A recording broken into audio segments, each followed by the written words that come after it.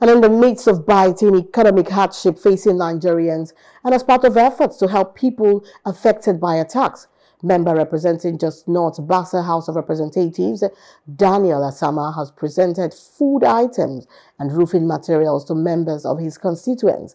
Donating the items at Anan Compound, the Kwal Bassa local government area of Plateau State, the lawmaker says the donation is to help relieve his people who are also faced with the growing economic hardship. As a member of the House of Reps representing the people of Bassa Jos North, I have so much cries. People painfully try to reach out all the time. My phone bursts all the time. 90% of the calls I receive are pains from just meager, just meager issues. People just want small meals, just meals, portions of food to eat. It's so painful.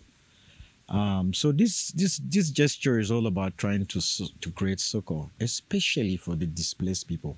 This is particularly for people who had been displaced over the past year or two years in this constituency. So we are distributing rice, we are distributing um, semovita, we are distributing uh, spaghetti, we are distributing uh, indomie, we are distributing cooking oil. It is a constituency uh, intervention program that I got from the ministry, uh, the Commission for Refugee Council.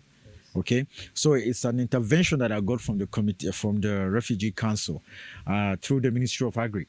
We appreciate what he did, and we pray for God to continue to see them through in their office.